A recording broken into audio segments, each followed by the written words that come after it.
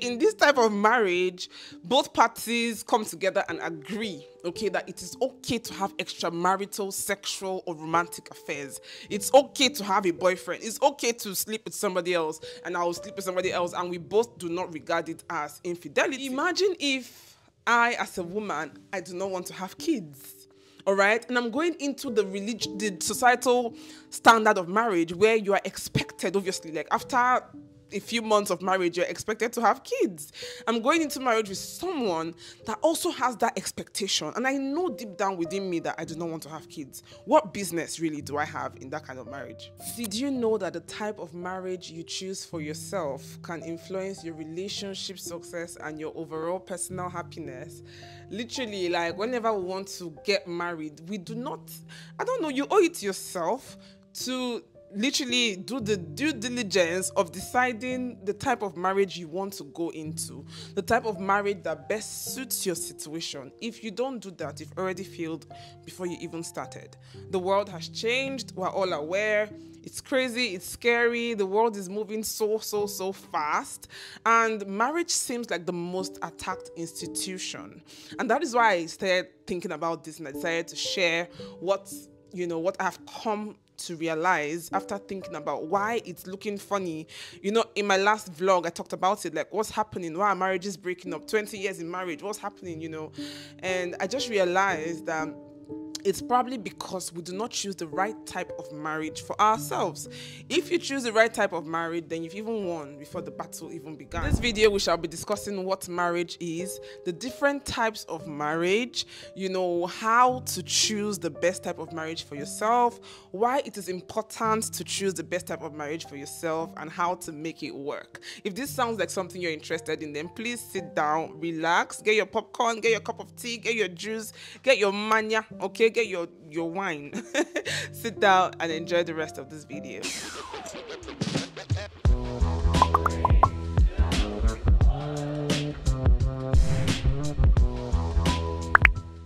Hello, welcome to my channel. My name is Mabel. Thank you so much for tuning in. If you're seeing this face for the first time, if you're a returning subscriber, thank you so much. So let us begin by defining what marriage is. I wrote it down here, all right? Marriage from Google, okay? Marriage is the legal or formally recognized union of two people as partners in a personal relationship.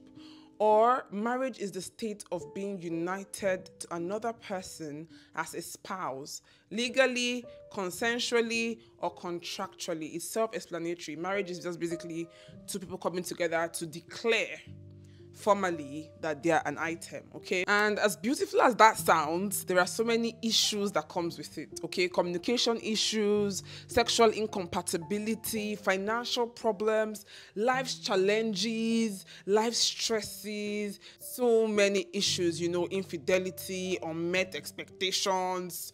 So many things affect this union that people mostly go in together and say, oh, we want to do this, okay? And as much as things affect it, it is important for you to know the type of marriage you want to go into. Why is it important for you to choose very well the type of marriage you want to go into? It's important because we are all different. Just as we are different, our needs are different, our expectations are different, our likes are different, our dislikes are different. The thing is that we have a societal standard for marriage. We have um, maybe a religious standard for marriage and everybody wants to model that type of marriage. If your marriage is not a religious type of marriage why then do you want to model a religious marriage? If you think a religious marriage is for you, then go for a religious marriage. If you think polygamy is for you, you have no business in monogamy. Do you understand what I mean? So it's different for different people. We are all different. So think about your stage of life at this point and decide what you want. You know, we live in self denial most times, but acknowledge your present reality, acknowledge your present situation and ask yourself, what do I need? Do I need money? Do I need a man now that will give me money? Should I marry this man for money? Is that what I need at this point? Do I need love? Do you understand? What do I need? The way I am, what can I what can what can I do to experience bliss in marriage because I want to get married. Do you understand what I mean? And if you don't want to get married, it's simple and it's good. Don't go ahead. It's something that you should decide to do. You should decide why you want to do it. And then you should choose wisely the type of marriage you want to go into depending on your circumstance. Imagine if I, as a woman, I do not want to have kids all right and i'm going into the religion the societal standard of marriage where you are expected obviously like after a few months of marriage, you're expected to have kids. I'm going into marriage with someone that also has that expectation. And I know deep down within me that I do not want to have kids. What business really do I have in that kind of marriage? So I'll quickly move to how do I choose? How do I now choose the best type of marriage for me. Or before we go into that let us go into the different types of marriage briefly. Let me just run run by that quickly yeah? Let me begin with parenting marriage okay? The different types of marriage. Number one parenting marriage. This type of marriage is usually done for the sole purpose of you know raising kids a certain way raising kids basically. In this kind of marriage both parties already understand they already understand and they've come to terms with the fact that we do not have any romantic connection or feelings between us anymore.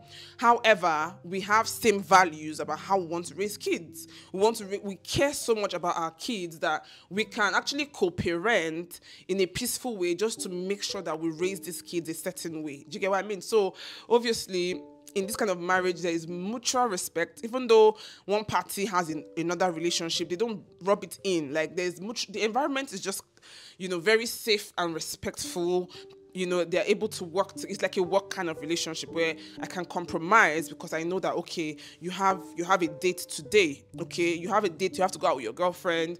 So i can be the one around with the kids at this point you know? There's a lot of respect and compromise that goes down in that type of marriage. The second type of marriage is the companionship marriage. In this kind of marriage it's basically not about anything else. It's not about kids unlike the parenting marriage. This one is not about children. It's not about raising children. They both both probably even have their kids and they just want a companion. It's about friendship. It's about having somebody around to socialize with, somebody to talk to, somebody to be with, okay? It's not even about romance most times. It's not about romance or anything like that. It's just for that friendship, you know, instead of being alone at home, you want to have a buddy that you just share your time with you just share things with, you can go out with. So basically, it's just basically for companionship. And that's why it's called companionship marriage, obviously. the third part is the open marriage, okay? In this type of marriage, both parties come together and agree okay, that it is okay to have extramarital sexual or romantic affairs. It's okay to have a boyfriend. It's okay to sleep with somebody else and I will sleep with somebody else, and we both do not regard it as infidelity. The only thing is that we both have to be safe for each other, right? So it's that simple. People come together and they're in open marriages. If you're in an open marriage, please tell us in the comments. I don't know how you guys do it because I'm not sharing anybody with anybody. Do you understand? I'm not sharing my man with a fly. I'm not sharing my man with a mosquito. So I don't know how you guys, you know, I don't know. I don't know. I really don't know. If I if I don't know, I just feel like that kind of marriage is not based on love. That's my own personal opinion because I feel like if you love someone or you love something, even food, your favorite food sometimes is hard to share. you know, even with my kids, sometimes when they are having something that they like, I'll be like, share with your brother. No, mommy, I don't want to share because you love that thing. Okay, so I don't know if if you are in an open marriage, let me know. Is there still love? Is it that you just want to have fun? I don't understand it. But it's a marriage where they just come up and there are different forms, funny enough, of open marriage. There's the swinging or the swapping. They call it husband swapping or wife swapping. There's the one where both, I don't know what that one is called, where both parties have to agree on who you are going to be in a sexual relationship with. And if you go outside the agreed set of people, then you have cheated. It's complicated, yeah? So we have the polygamy where a man has more than one wife. Women, co wives, are happy to share the husband, okay? And we have the polyandry where it's the opposite, where co husbands are happy to have one wife, share one wife this world now we have so many others. We have um, same sex we have same sex marriage now. New things you know the world is really moving fast. Crazy yeah? We have the safety marriage. The safety marriage people tend to think it's gold digging okay? It's just very simple. Both of us have to agree to come into marriage for certain benefits. Yeah, for example, I want to get married for money he knows I'm getting married to him for money, and there is something he needs from me as well. And then we can come together and agree to go into marriage for that purpose. For example, he might want to get married to an educated person, he's not educated, he needs me for his social you know, for social events, just to say, oh, I'm married to an educated woman, he needs his kids to have an educated mother. Do you get what I mean? So, and then he knows that in return, I need the money. God. I will just end by talking about the religious marriage, which is which is the type of marriage that I am in. It's different. I am in a civil marriage and a religious marriage, okay? But let's talk about the religious marriage. It is one where both parties have to exchange vows before God and before man. It has to be blessed by God. It's it's mostly done in a religious structure, like in a chapel, in a church, you know. But it is just like the name implies, a religious marriage where we are we are in short. In that kind of marriage, is not just the man and the wife. It is the man, the wife, and God at the middle of that kind of marriage. Of course, they have the um, what's it called now? Interreligious, right? Yeah, I think interreligious, interfaith, of or mixed marriage. I think it's all the same thing. Mixed, interfaith, in no interfaith. Maybe is maybe the same religion but different denominations. But interreligious or mixed marriage is where both parties belong to two different you know so there are different different types of marriages basically that's the point so by time you have understood that there are different types of marriages it's and you know the different types of course there are so many more. You know the different types of marriages it's now easy for you to now choose the type that best suits you. Do you understand? So one mistake we make is that we assume that okay this is the only type of marriage there is and you want to go into that. Meanwhile that does not suit your circumstance. That does not suit you. That does not suit your expectations. And you know there are issues at that point. If you know that you cannot be faithful to one woman jejely. Jejely become a polygamist. It's that simple except you don't have money i don't know but if you if, yeah if you like women make money then. Make money because rich polygamists actually i think they have more peace. You know i'm not i'm not into polygamy i don't like it it's too much bad blood in my opinion too much negativity. But for people that have money they seem all right so if you know that you cannot be faithful you have no business going into monogamy you have no business going into one man one wife because obviously you know. So when you know why then do you go ahead? So how do i choose the right type of marriage for me? It's not rocket science it's very simple. Obviously understand and analyze the different models or the different types of marriages. Yeah. After that, next thing is to analyze your own needs. Analyze your needs, your lifestyle, okay, your expectations. Analyze it, think about it. Where am I at? What do I expect from a marriage? What do I want to achieve from a marriage? What do I not want? Basically, like, what do I want? What do I not want? Analyze everything carefully. That would help guide you through making the right decisions, yeah? Next thing is to reflect. Reflect. You have to do a lot of reflecting by the way. You don't reflect once. You reflect a lot about it. Reflect. Search yourself. You can lie to anybody but you cannot lie to yourself. So search yourself deep down. Reflect a lot about this. However as much as you, it looks so defined defined defined it's not really really defined. So be open for adjustments. Be open-minded. Be open for adjustments because things can happen. Things can change. Situations and circumstances can change. So be open minded, all right? And then if you need to seek advice from a professional, then seek professional advice. Um, and then maybe, you know, it's good that if you want to be a doctor, obviously, and you want to have a mentor, your mentor should probably be a doctor so that you can follow the footsteps. So look for somebody that is successful. If you want to be a polygamist, look for a successful polygamist that can mentor you so that you can seek advice from them as well, know about their mistakes, ask if everything they're going through is what they expected. You know, just basically do a lot. It's just very simple and direct and then make your decision.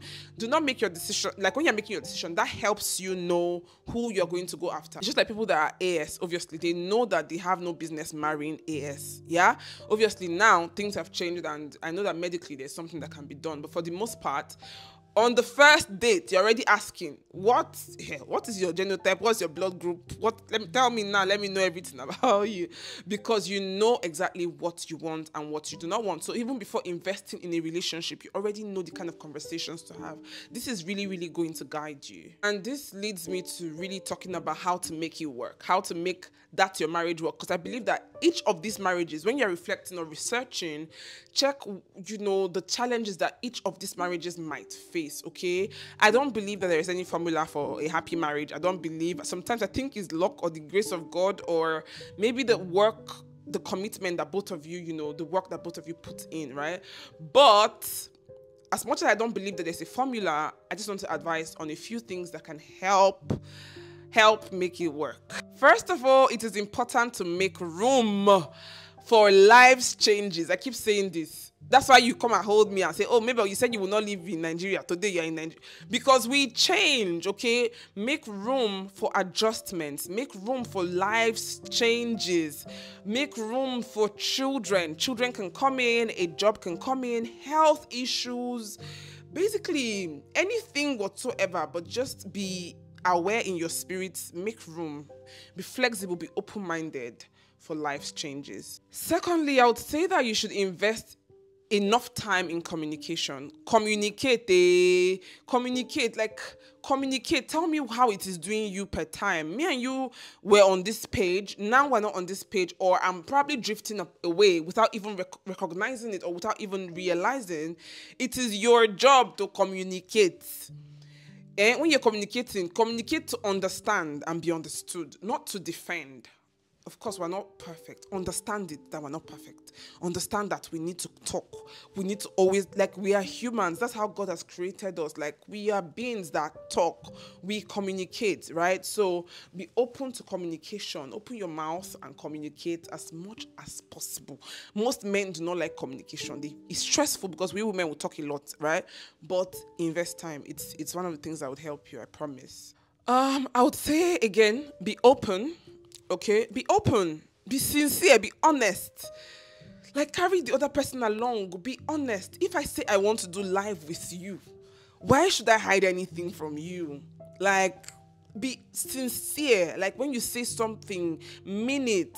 Mean it. Say only what you mean and mean what you say. Be as open as possible. Be as sincere as possible you know be aware that you know like i was mentioning different types of marriage anyways. Some people are married in a way that they know that this kind of marriage we need our spaces. We have different lives but we're married right? If you're not in that type of marriage try be open. If you're not feeling it anymore be open. Help each other. It's a two people something now it's not it's not only me. It's not only you. Do you, do you get? Um lastly i would say that be open to therapy you know, go for therapy if you need to. I know we are a lot of Africans do not like therapy because we're like the person that is the therapist, as the person finished solving her own problems, his own why would I come and carry my own bro? This is their profession. Okay, they were trained to do this. Sometimes eh, therapy could just be the fact that you have somebody to listen to you, somebody to vent to it is therapeutic that you have someone that you are paying money to just listen to your thought process. Listen to your partner's thought that there's something about therapy. I haven't had one. I am open. I haven't had therapy before but it's something that you should be open to be open about. Really there's no biggie. And i think that with these with understanding what suits you you know with carefully deciding how to choose the best marriage for you and you know taking my advice on how to make it work you know i feel like we should be good and we're going to have less divorce. This is my own opinion. Let me know your opinion. This is my own my my my thinking can be very deep okay? I go extra extra mile when thinking. These are what i have come about because i've been worried. I told you guys that me and my husband we used to pray about our marriage our marriage is centered, you know, God is at the center of our marriage. And so, with what is going on like a pandemic in the world, we pray. It's funny. my cousin say, baby, come on here. Oh, my cousin and her husband, they pray for their marriage not to be separated. Una like this una marriage. that thing is so funny. That's how much we love the marriage. Yes, we love our marriage so much that we are very intentional and we pray. If you're Christian and you're in a religious marriage, pray. Pray, but also do the work. As much as you're praying, do the work. So let me know what you think. Do you think this video was helpful? Did you learn one or two things from this video? Let me know in the comments. Thank you guys so much for watching. If you watched up until here, if you want to be a part of my YouTube family, please do well to hit the subscribe button. Give this video a huge thumbs up and share this video with somebody that you know this can help. Somebody that is saying, oh, you shall get married. Ah, I'm scared though. The way marriages are breaking up. Share this video with that person today. Thank you guys so much for watching. I'll see you in the next one. Bye.